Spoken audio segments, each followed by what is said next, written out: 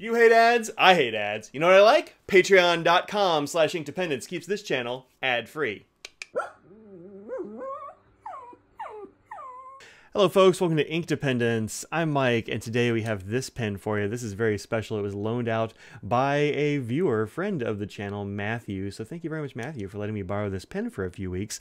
I've had this for about three weeks, and I've been using it a fair amount. So uh, let's chat about this pen. The 3776 is a model that dates back to 1978. The Century edition of the pen, or the Century model of the pen, which is sort of the standard now, like this, or like this, or those are the only two I have on my desk at the moment, but I've always got at least one or two of these in the rotation because I love them a lot. That Century edition came out 10 years ago ish. It was it was launched in uh, 2011 and it's now 2022, but I think there was some delay with, you know, the plague and such that uh, set it back. So this is the 10th anniversary of that pen. And it is uh, it is a Century model for sure in a lot of details, but also a whole bunch of things have been altered or changed about this pen uh, that make it definitely worth talking about. So to begin with, it is a little bit shorter you'll notice than the standard pen because it has the flat tops which is uh, specific to this pen so that's pretty cool.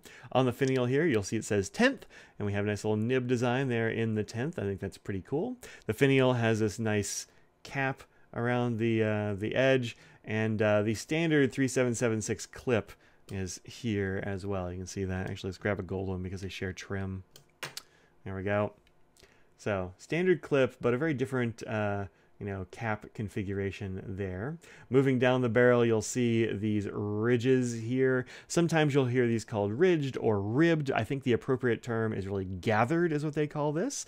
And the original Century model had the gather up and down the barrel and cap. I believe the entire thing was uh, gathered on that first model.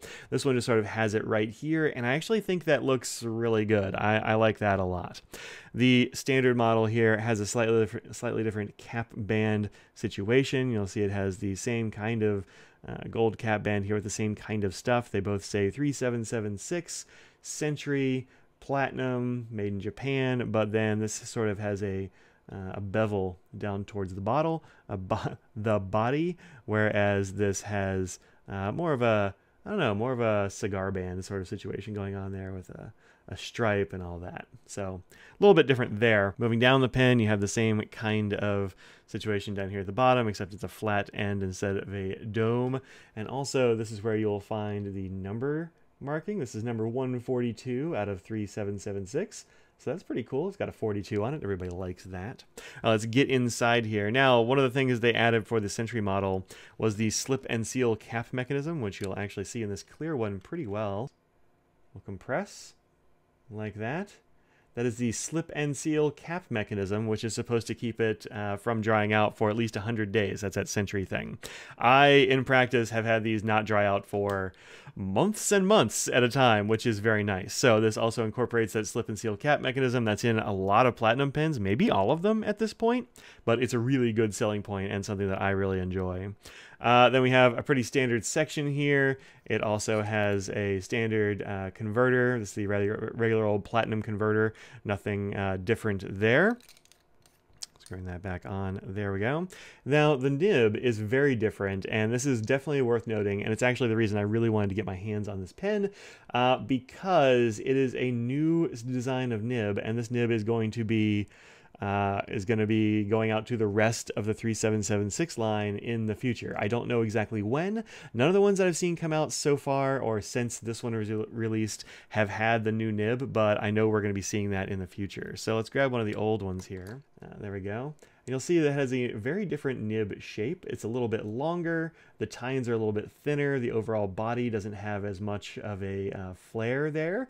And what this is going to allow is it's going to allow there to be a little bit more flex in this nib than you'll get out of their older nibs. These nibs are known to be kind of a nail, and I really like that about them. It's one of the things I enjoy about Platinums. They are a very sure pen to write with. It doesn't feel like I need to be careful with them or anything like that. They are 14 karat gold, but they all write excellently, and I really enjoy the nibs on there. They do have a soft model of these nibs nibs or a soft variation of that nib. This one is not as soft as, say, the soft fine or the soft medium that they currently have, but there will be a chart, which I will put helpfully over here, that they have uh, put out there, which shows sort of like curves or what have you about um, you know softness and such. So this will be softer than the uh, than the fine nib on the uh, the original model, and so uh, this will allow for more flexibility and that sort of thing. You can get a little bit of flex out of this nib. It is not what I would call any kind of, I wouldn't call it a flex nib. I would call it slightly soft.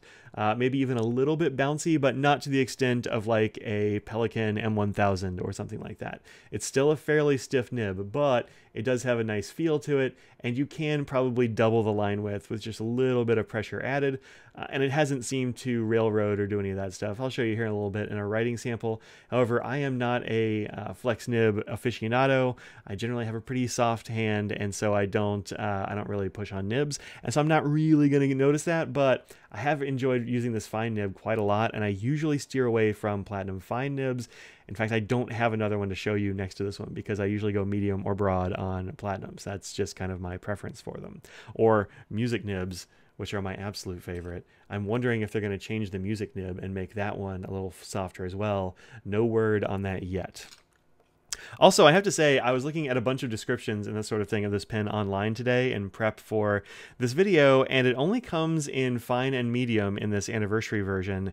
And all of the verbiage talks about the fine nib being softer than the previous fine nib.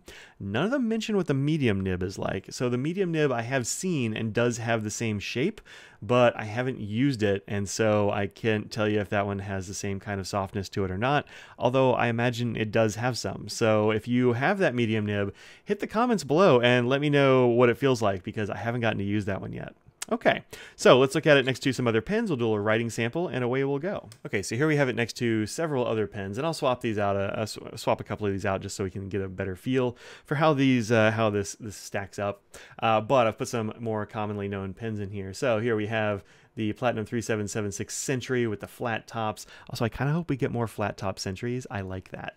Uh, then we here we have the Burgundy, which was my very first 3776 Century, the uh, Lamy Safari, the TWSBI Eco, and the Sailor 1911 standard size there. And you can see this is kind of in the same range as the rest of these, but you know a little bit shorter uh, than most. So there we go. Let's take the caps off and look at them that way. You can see that this is uh, the same length when you take the cap off, more or less, as the standard 3776, and also uh, just about the same. Let me make sure this is squared up. Yeah, just about the same here as uh, as our Sailor 1911. Substantially shorter, of course, than the, the Lamy or the TWSBI there. All right, let's post these.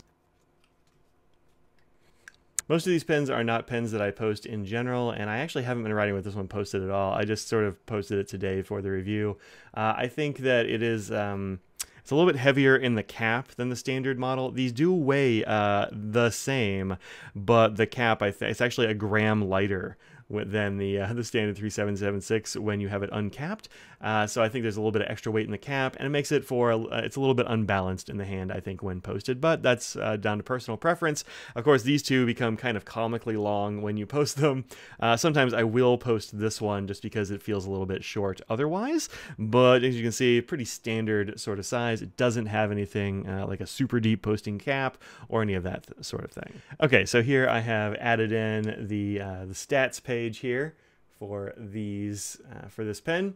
And uh, as you can see pretty standard sorts of stats 25 grams uh, capped 14 grams uncapped is a very nice sort of lightish pen.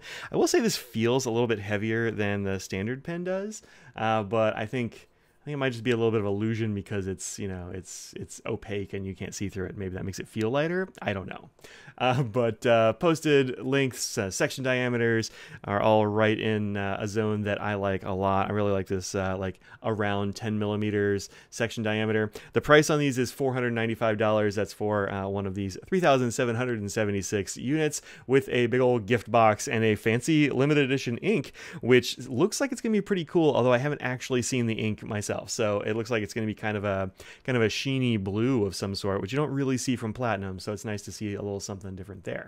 So let's uh, let's try this out. I have been waving this around a whole lot for this review, so let's see what it looks like. Let's see if it starts up when I when I start writing. Yeah, immediately. No problems at all.